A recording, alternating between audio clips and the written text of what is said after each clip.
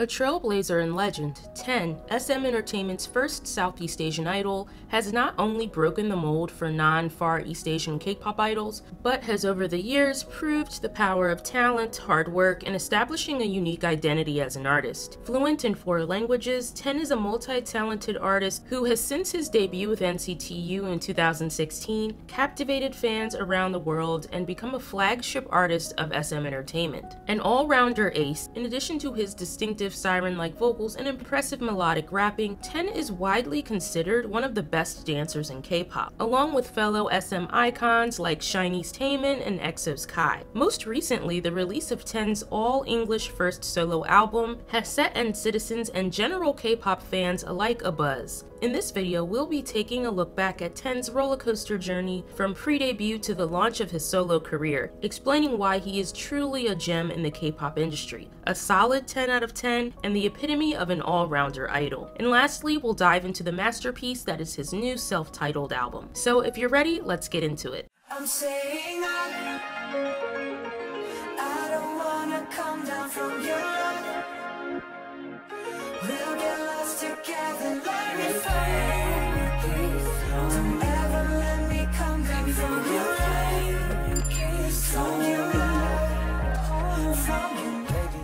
Hey guys, it's Bri Czennie. If you're new to my channel, welcome, and welcome back if you're a returning subscriber. If you're a fan of my content, you most likely know that I'm a huge fan of SM's boy group NCT. In fact, their affectionate fandom nickname, Seasony, even inspired the name of my channel. It's also no secret that Ten is not only one of my biases in the group, but also one of my ultimate biases in K-pop. So it's no surprise that I've been patiently waiting for the release of his solo album, Ten, the first mini mini album. Now that Ten's solo debut album is finally here, I figured this would be the perfect moment to dive into Ten's winding journey of becoming one of SM's quintessential all-rounder idols and take a look at his self-titled album inspecting Ten's vision of the project and reviewing each of the six tracks. So whether you're a certified NCTzen, WayZenNi, a dedicated Lovely, or you're new to NCT's Ten, this is the perfect video for you. Before we get into all things Ten, I want to take a moment to thank all of my channel members. Night Skin Nihonjin, Alice Loves Cherry, Louisa,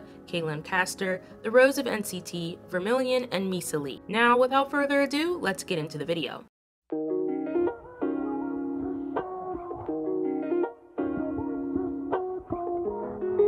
Ten was born on February 27, 1996, and raised in Thailand's capital city, Bangkok. Born Chittaphon Chayapornkul, the name Ten, which means a common Indian kingfisher in Thai, was actually a nickname that his aunt gave to him when he was little. Ten was raised in a Thai Chinese family and attended the British International School, the Shrewsbury International School of Bangkok. In addition to teaching English, the school is also known for its art program, where Ten studied design for over 10 years, as well as gymnastics, for which Ten won several medals and even a trophy. The fact that Ten attended such a prestigious art school makes a lot of sense. If you're a fan of Ten's, you'd know that he frequently shares his artwork on his social media and has even designed his own clothing collection featuring his art in a collaboration with Brand Represent. Discussing his childhood on the YouTube channel ODG, Ten shared, When I was young, we just played baseball or volleyball. Sometimes I went to the beach with my friends and we just sit on the sand and play in it. My school was next to the river. So after school, we rode the boats and ate food. It was really fun back in the days. Every time I see old photos, I want to ride a time machine and go back. I was so free back then. Ten loved singing and dancing since he was young. He has explained that both his mother and grandmother greatly influenced his choice to pursue becoming an idol. According to Ten, his mother, who some fans affectionately refer to as Mama Lee, introduced him to the world of art and design. She believed the arts and sports were far more important in a child's development than traditional academia. In addition, Ten's grandmother often showed him performances of artists since he was a child, which also inspired him to take an interest in dancing. When Ten was 15 years old, he competed and eventually won the Thai talent show Teen Superstar under the stage name TNT, sporting a head full of dramatically bright red hair. As part of the show's prize, Ten won a contract with the K-pop company Starship Entertainment. However, his parents weren't ready for him to fly to Korea by himself since he was still very young, so he decided to stay in Thailand for the time being. Imagine if he'd signed with Starship, we could have seen Ten as a member of Monsta X. Remember Ten's 2020 NBC Pop Star performance with Monsta X's Shownu? That was a taste of what could have been.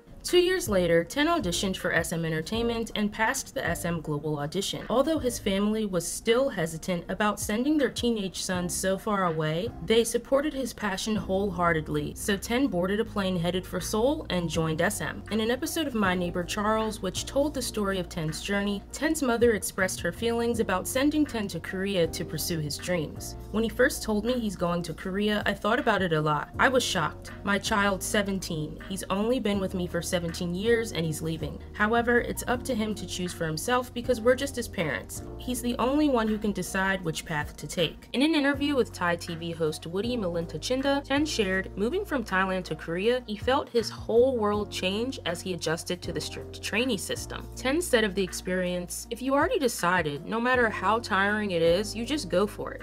I'm a person that if I decided that I'm going to do it, I won't look back. By December 2013, Ten was officially introduced as a member of SM Rookies, SM Entertainment's pre-debut trainees. Although Southeast Asian artists debuting as K-pop idols has become more and more common in recent years with idols such as Blackpink's Lisa, GOT7's Bam Bam, and (G)I-DLE's Minnie coming to mind, when Ten was initially announced as a member of SM Rookies, he was one of the first non-Far East Asian stars to enter the Korean public consciousness. As one of the first Southeast Asian idols, Ten faced several challenges, including the tough language barrier, brutal online scrutiny, extreme cultural differences, and the pressure to represent where he comes from. A lot for a teenager teenager who is new to a country. Although Korean people have throughout the years been exposed to sensationalized media that reinforces negative stereotypes of Southeast Asian countries and people as being less developed, thanks to K-pop idols like Ten, there has been a noticeable difference throughout the last few years. Seksan Anantasiri an analyst with Klangpanya Institute for National Strategies in Bangkok, told UPI Korean,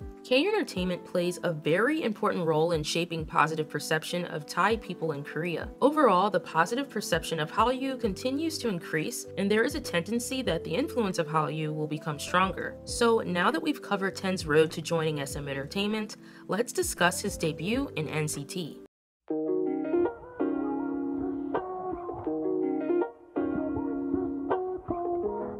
Introduced as a member of SM Rookies, it was only a matter of time before Ten was confirmed to debut in a group. After over two years, on the 3rd of April 2016, SM Entertainment finally announced that Ten, going by the Korean name Ten Lee, was an official member of NCTU, the first rotating subunit of their brand new boy group with an unlimited concept, NCT. Along with Jaehyun, Mark, Taeyong, and Doyoung, NCTU released what is now considered one of the best K-pop debut songs of all time time, The Seventh Sense.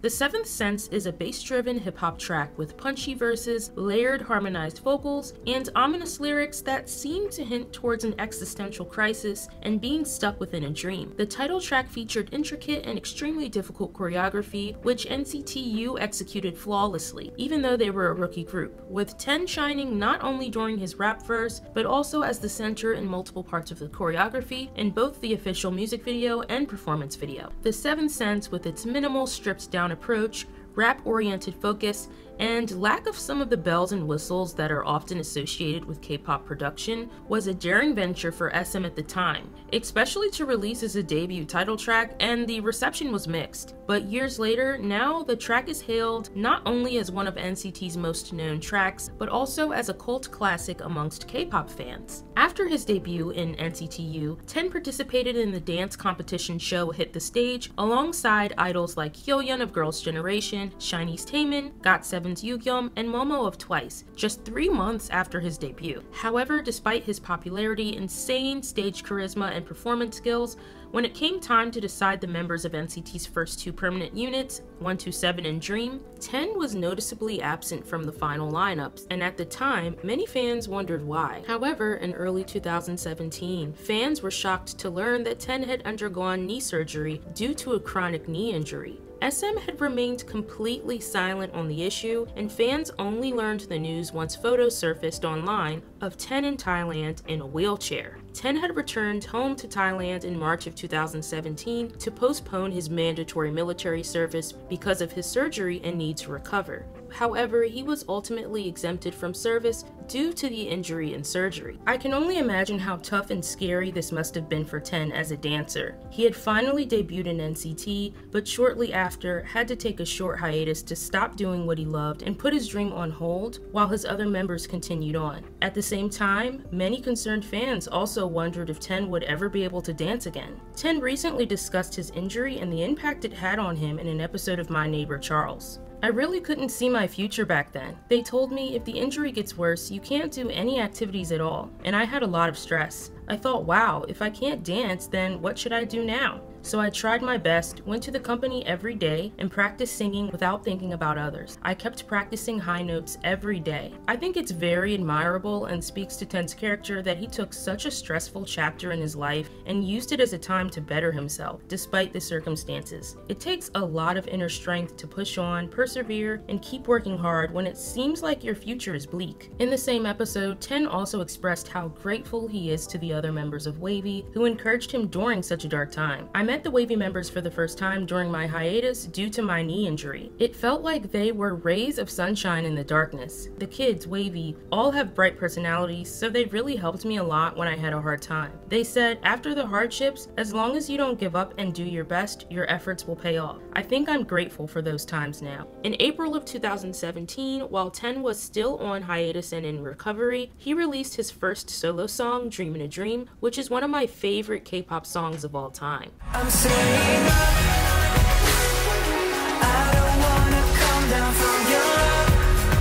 Dream in a Dream was very well received an ethereal track with a dreamy and nuanced soundscape, traditional East Asian instruments, alluring vocals, lyrics telling the story of not wanting to wake up from the dream that is falling in love, breathtakingly beautiful choreography, and a both touching and surreal music video that showcased Ten's delicate dance skills and magnetic stage charisma, proving his competence as one of SM's flagship main dancers. About releasing Dream in a Dream, Ten told Teen Vogue, I realized why all the young sometimes like doing their own stuff. It's because you're putting your ideas in your own work. Dream in a Dream also made its way into NCTU's first studio album, NCT 2018 Empathy, which also included Ten's duet song with Taeyong, Baby Don't Stop, which is undeniably one of the most popular NCT songs of all time and has continued to be a fan favorite to this day. Stop.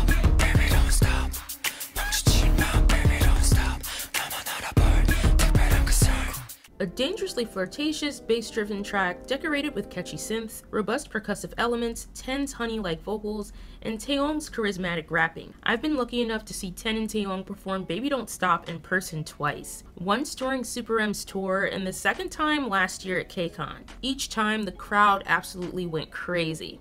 In 2018, Ten had fully recovered and released his second solo single, New Heroes, a moving EDM track with inspiring lyrics telling the story of perseverance.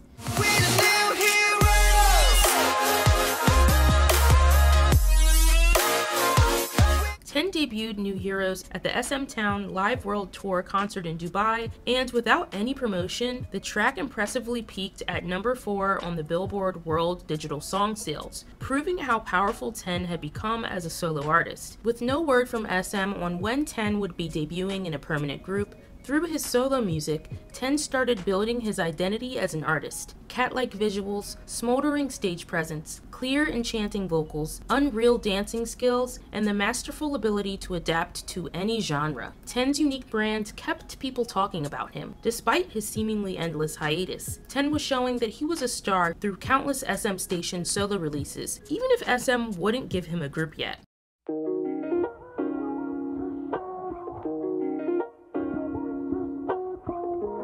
Finally, after three years without a permanent unit, on the last day of 2018, SM announced that Ten would be joining NCT's new China-based unit, WayV. In the group, Ten would be joining Kun, Winwin, Hendry, Xiaojun, Yang Yang, and former member Lucas. Together, they would be managed by SM's brand new subsidiary, Label V. In a heartfelt letter to fans shortly after WayV's debut, Ten addressed his surgery and hiatus, his love for the art of dance and performance, and thanked his fans for believing in him. Hey guys, do you still remember the letter I wrote in 2016? The time I had by myself helped me to understand more about my identity and my love for all forms of art. Performing on stage again alongside WayV is the greatest experience for me. On the stage is where I can express my creativity, also a perfect place where we share what we have in common and come to understand and accept our differences. I'm sincerely grateful to be a part of WayV, and I would like to express my gratitude for everyone for believing in me and patiently waiting for me for such a long period of time. Although SM had been toying with C-pop for a long time, WayV was their first official China-based group, and it was clear that the company had high hopes that they would be able to, at long last, tap into the cash cow that is China's 2 billion consumers, despite China's unspoken K-pop ban.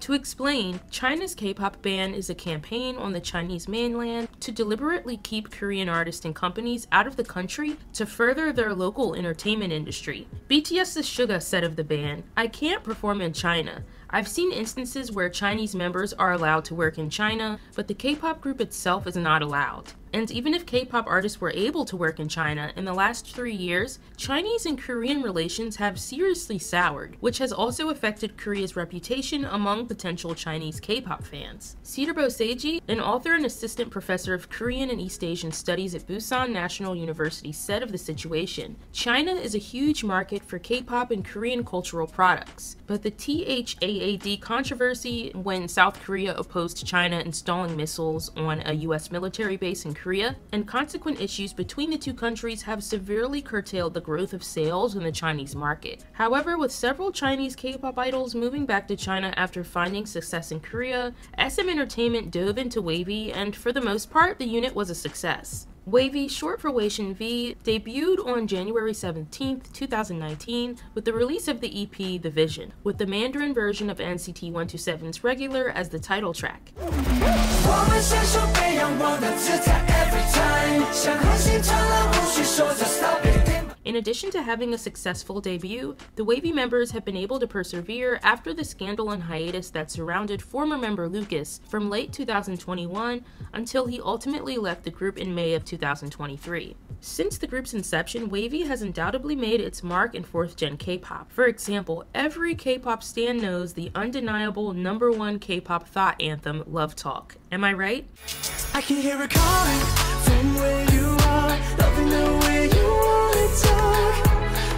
in addition, WayV has released hits like Moonwalk, Bad Alive, Take Off, Kickback, and Phantom. The group's most recent album, On My Youth, their first full-length album since the controversy, achieved the group's highest first-week sales and was certified platinum by the Korea Music Content Association. Ten also participated in the creation of On My Youth's choreography. In addition to being a member of WayV, in August of 2019, Ten was suddenly announced to be joining SM Entertainment's supergroup Super M, the Avengers of K-pop, along with Taemin of SHINee, EXO's Baekhyun and Kai, as well as fellow NCT members Taeyong, Mark, and Lucas. A K-pop supergroup co-created by Capitol Records, Super M was marketed specifically at the American markets, which meant sending the members to every American talk show and radio program, plus sending them on a short but profitable world tour, which included playing the UK's O2 Arena. Super M even became the official ambassadors for Korean Air. SM's promotion worked, and Super M's first album became the first Asian debut record to top the Billboard 200. At the same time, in 2019, Ten starred on the Thai cooking program Food Truck Battle, which featured a mix of Korean and Thai celebrities including Nam Tae-hyun, Wonder Girls Park Yoon, Kitty Chicha, and James Tiradone. Ten even returned for season 2, appearing alongside Yang Yang and Woods. What's more, Ten has become a regular in the world of Chinese dance survival programs, with his first appearance being as a surprise special guest on Street Dance of China, which was then followed up by Ten being cast as a team leader on Great Dance Crew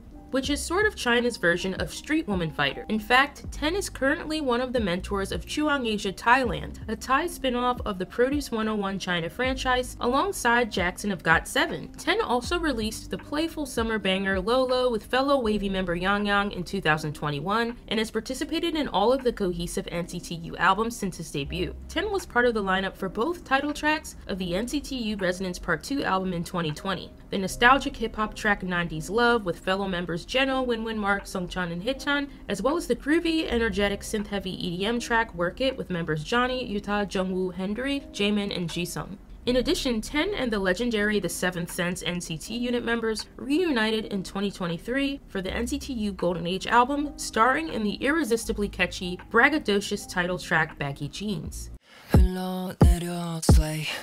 In my baggy, baggy, baggy, baggy, baggy, baggy jeans. In my baggy, baggy, baggy, baggy. Ten also teamed up once again with fellow Mainslayer NCT leader Taeyong, a nod to Baby Don't Stop, with the seductive Golden Age B-side called D. So now that we've detailed Ten's extensive journey of becoming an idol and one of the pillars of NCT, it's time to get into the highly anticipated creation and release of his self-titled first solo mini-album, Ten.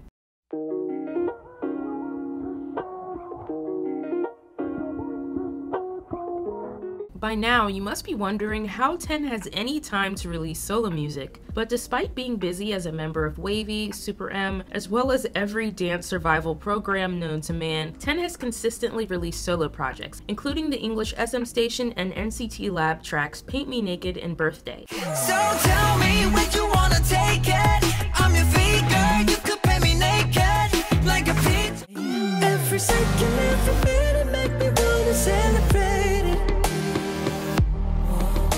Both of these tracks show that Ten Lee is truly a chameleon of an artist. He can effortlessly adapt and own various genres and styles of music and dance. Paint Me Naked is an energetic pop-punk centric track with catchy guitar riffs, while Birthday is an alluring R&B dance track that highlights Ten's beautiful falsetto, enticing vocals, and baffling dancing. These two songs further establish Ten's adaptive music style, emphasizing his charming and beautiful vocals, while their groovy and dynamic production beautifully complemented his incredible dance ability. But the best was yet to come. When SM Entertainment's CEO Chris Lee announced their plans to finally release Ten's first fully English album in February of this year after it was initially postponed from its original June 2023 date, fans were thrilled. Finally, Ten was getting what he deserved. His talent was being respected for what it was. However, some questioned why SM scheduled Ten's solo debut to coincide with the debut of NCT's brand new unit NCT Wish, as well as NCT leader Taeyong's anticipated second solo release, Tap. Couldn't SM find a time to release Ten's album when it wouldn't have so much competition from its group members? Personally, I ult both Taeyong and Ten, and this situation did frustrate me quite a bit. The schedule planning seemed quite rushed and messy. While I totally understand that Taeyong is enlisting soon, probably later this year, and his time frame to release a new project was probably limited, as a fan of both idols, I feel that both Taeyong and Ten deserved to have their singular moments in time to shine and promote their solo projects, especially Ten since this would be his solo debut. However, despite the timing, most Den citizens like myself were just relieved and excited that we were finally getting a long-awaited complete Ten solo project after waiting for years, despite the circumstances. In the video 10, Story of the First Mini Album 10, uploaded to the official NCT YouTube channel, Ten speaks candidly about the process of bringing his debut album to life. He explains that each of the six songs reflects an aspect of his personality. Although the album is called Ten, each track can stand alone. Ten also added that he tried to express an alter ego or another side of himself in each song. Nightwalker is the album's title track, and Ten explained that it wasn't the first choice for the title track, but it was decided after his team took a vote. He also added that his first impression upon hearing the demo was that the song would be very difficult difficult for him to record, due to the prevalence of many high notes.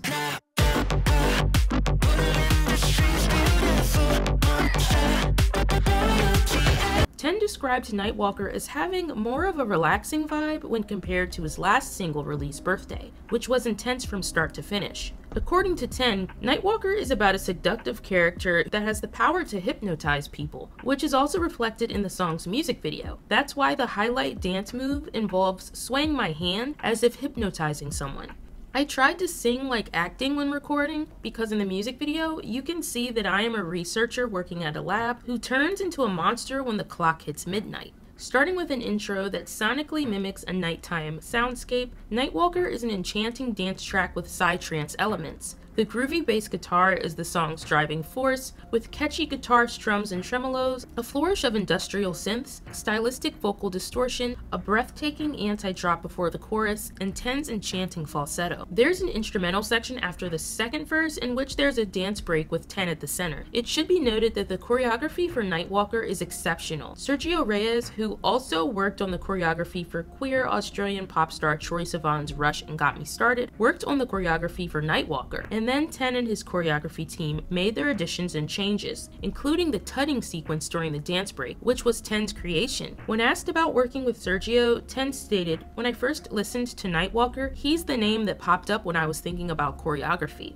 I used to find his videos on Instagram and I feel like it's very, very unique. All the dances are simple, but they captivate the audience when you look at his movement. When asked further about the choreography, Ten explained, I originally crafted choreography with intricate and powerful moves for the chorus, but this time I integrated simpler and repetitive choreography to convey a different allure. As mentioned before, Nightwalker's dance break features tutting, named after the ancient Egyptian pharaoh King Tut, a street dance style birthed in the 90s that focuses on the angular movements of the fingers. If you're a ReVeluv, you might remember Seulgi and Irene featuring this dance style in the choreography for their 2020 B-side Naughty. Tutting is an extremely intricate and precise dance style that isn't easy to execute and Ten nailed it effortlessly in Nightwalker. This section of the choreo as well as the outro dance break is the highlight of the track for me. In my opinion, Nightwalker was the perfect title track for Ten's solo debut. Although I expected Ten to go with a hip hop or R&B song for his title track, I think he instead wanted to go with the unexpected and I'm so glad he did. Nightwalker not only showcases Ten's flawless precision as a dancer, but also highlights his vocal ability. When Ten sings, his charm is that his voice effortlessly translates emotion and rawness. When he delivers a line, you really feel it, and that's something special. I think that this aspect of his ability is especially visible in the Nightwalker title track. You can definitely hear the difference between the naive researcher and the beautiful monster, especially during the bridge of the song. In addition, the music video is nothing short of theatrical, with Ten acting as both the naive researcher and the alluring beautiful monster Nightwalker character. I felt that the music video was the perfect balance of story, visuals, and dancing. I loved the Dr. Jekyll and Mr. Hyde like concept. It's definitely one of my favorite SM soloist music videos to date. As for the remainder of the album, to put it simply, it's a 10 out of 10. Besides Nightwalker, the album features the sexy Latin pop track Water, which I find so fitting for Ten.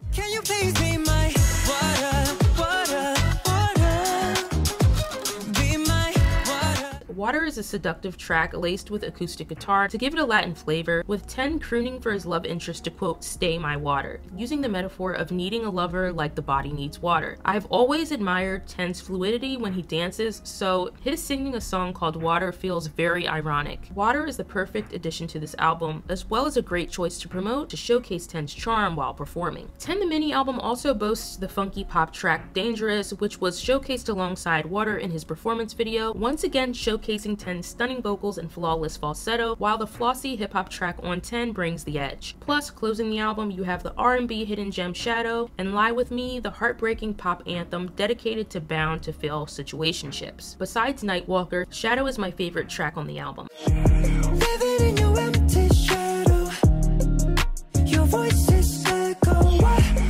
I'm a huge fan of R&B and I'm obsessed with the production of this song. The lamenting guitar riffs, Ten's longing, heartbreaking vocals of being haunted by an ex-lover, and the addictive, stuttering bass line are the highlights of the track for me. Plus, out of all the tracks on the album, Shadow is my favorite vocal performance from Ten. The track effortlessly shows his range as a vocalist and it has me hanging on every note that he sings, no matter how many times I listen to it. And it's not just diehard NCTzens like myself who love this album. Overall, the Ten album has had a fantastic reception and has already achieved remarkable milestones. For example, Ten's debut album surpassed Taylor Swift on the US pop album iTunes chart, proving Ten's solo popularity in the US. But not only did Ten soar to the top of the US pop album iTunes chart, but it also secured fifth place on the overall US iTunes chart, despite competition from major artists like Usher, who was trending at the time due to his Super Bowl performance. In addition, over 140k albums were sold in the first week. Ten's Nightwalker also charted number one on Korean charts Bugs and Genie. As far as streams, Ten's Nightwalker is the biggest SM soloist debut on Spotify to date, with over 780k streams in the first day. And the album is the fifth most streamed SM solo album within the first week, with over 10 million streams as of week one. In addition, Ten began his first fan concert, a completely sold out tour this February, with several dates in Korea, Japan, China, and Thailand. Although the competition was steep and Ten did not secure any music show wins during his promotion, he did receive the Inkigayo Hot Stage for Nightwalker, nominated alongside P1 Harmony and Ensign. Ten's unprecedented success on both the US and global charts, as well as his sold out fan concert tour, has only solidified Ten's status as a star in the music industry, and hopefully means that Ten will get even more opportunities to soar even higher in the next few years. So, to sum things up, Ten's self titled first mini album was well worth the wait. As a longtime fan of Ten's, it was so exciting to finally see him get the spotlight he deserves, receive love and appreciation from his fans, and not only promote his solo songs at music shows, but even perform in his own fan concert across Asia. By the way, Ten, please tour in the US. We want to see you here too. He's an amazing, multifaceted artist, a true ace and all rounder who not only excels at dance, performance, and choreography, but has a stunning, charming voice that demands for you to listen. Personally, his album exceeded my expectations, and as I fondly remember briefly telling him at KCON High Touch last year that I could not wait for his first solo album, I look forward to watching him continue to grow and excel in his solo career. As Ten has said himself, this is just the beginning and there is more to come. His journey is far from over. The Ten album is without a doubt going to be one of my favorite albums of the year. In fact, I can safely say it's one of my favorite solo albums ever, alongside Taemin's Ace, Want, and Guilty, She Is, Han Sung-woo's Fever, Kai's self-titled album Kai, and a few others. I think Ten is one of SM's most promising talents, and I hope they continue to support his solo endeavors. So as always, I want to know what you guys think. What do you think about Ten, the first mini album? What's your favorite title track? Is Ten also one of your favorite idols? Let me know your thoughts and opinions in the comments section below. As always, thanks so much for watching. If you liked this video, make sure to like and subscribe, and I'll see you in the next one. Like you, like you, like you, like you,